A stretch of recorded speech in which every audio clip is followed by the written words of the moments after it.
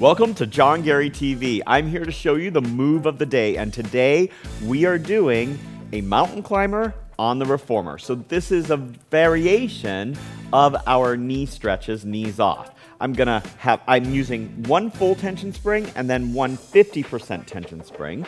I'm gonna put my feet against the shoulder rest. My hands are up on the foot bar. I'm gonna come out a little bit away from the foot bar with my body, and I'm gonna start by pressing both legs out. Then I bring the legs in, I bring one knee off, one foot off, and bring it, the knee into my chest, meet in the middle, and press the carriage back with the other leg. I alternate on each one.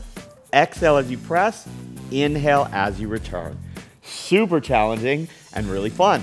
That's the move of the day, and I'm John Garey. Thanks for joining me on John Garey TV.